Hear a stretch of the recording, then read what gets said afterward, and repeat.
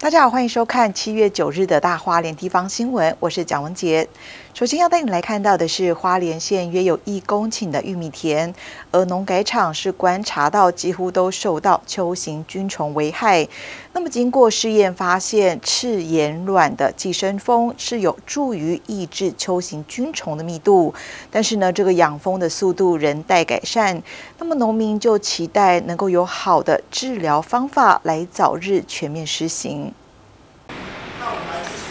赤眼卵寄生蜂目前由台糖公司花东区处养殖生产。为了协助台糖公司改善现有的生产赤眼卵寄生蜂耗费人力的情况，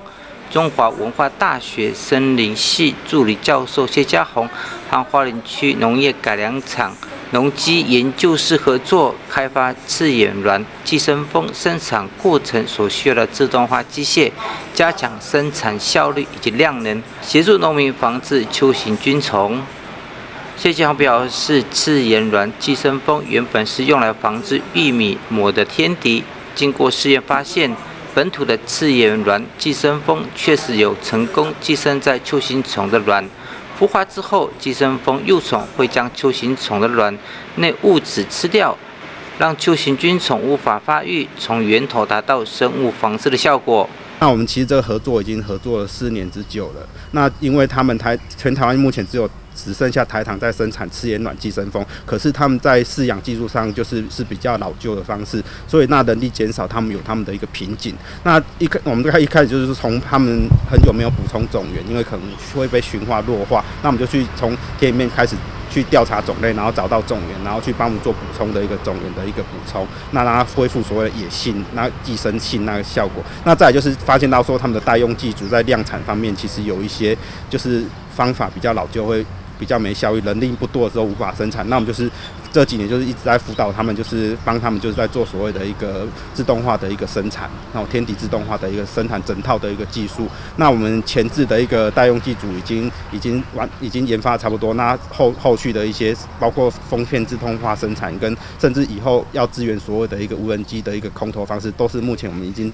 研发中的一个东西。那我们是希望说这几年就可以把这个东西整个出来，那可以防止玉米之外，可以对秋菌虫。有可以有效的一个防治。对，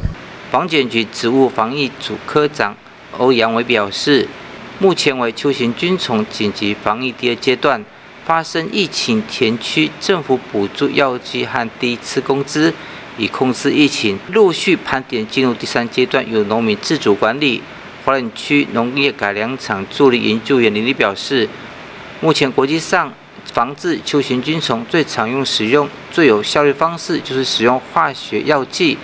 但对有机或友善种植玉米的农户来说，药剂选择少，目前大多是使用苏力菌。收获农民陈虎表示，他种有机玉米二十年了，去年在玉米田间发现秋行菌虫开始肆虐，今年更是变本加厉。不但从小颗玉米开始吃，连玉米穗也吃掉。过去一公顷地可以收五公顷水果玉米，行销各地。自从出现秋行菌虫之后，损失一半以上。他希望政府能够协助有最好的防治方法，不会毒害植物，影响收成。记得中一个分享报道。